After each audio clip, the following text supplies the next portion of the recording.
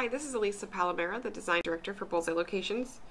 Today I wanted to walk you through a video for adding an embeddable interface to your website.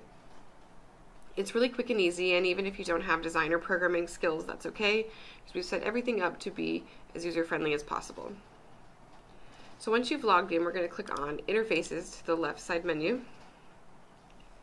And here you have three options.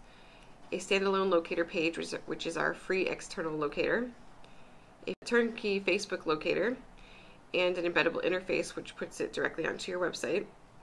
And we're going to choose that, the embeddable interface. Here I can choose a side-by-side -side locator with map, which displays the results to the left of the map.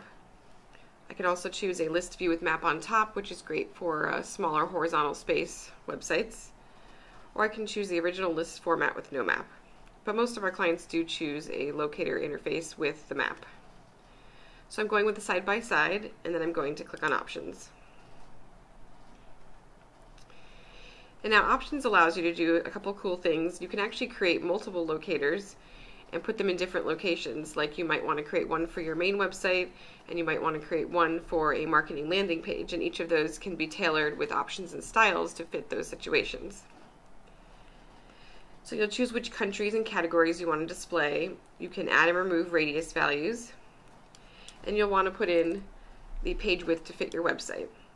I also recommend that you upload a custom map icon to help brand your website.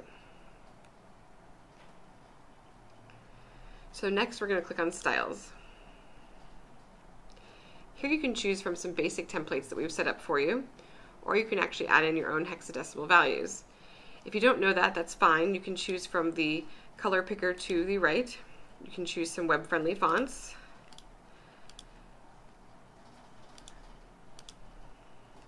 And once I've done that, I'm going to preview what I have so far. So if you're happy with what you've got, we're going to close this window and save our locator.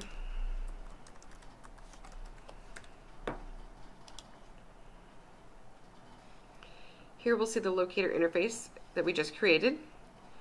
And next we're going to want to grab our publish codes. So we're clicking on edit. Go to the Publish tab. And here you have a couple options. You can do an iframe embed for the website.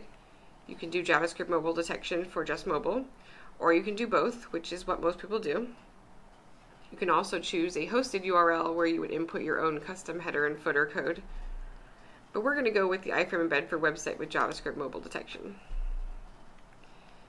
So I'm going to copy this first uh, mobile-friendly JavaScript code.